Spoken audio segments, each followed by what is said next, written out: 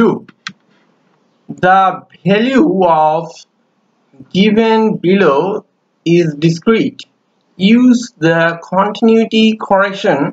Describe the region of the normal distribution.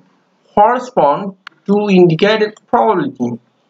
Probability more than 6 percenters do not show up the outliers our answer is option C here is the option C.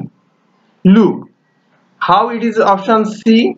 It's more than more than 6 percent so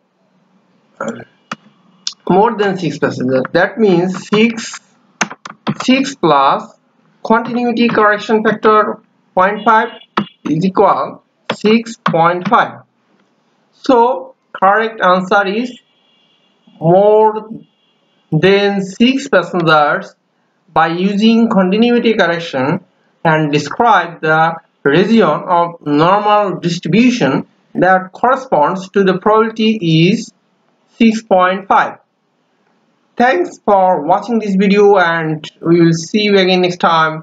Bye bye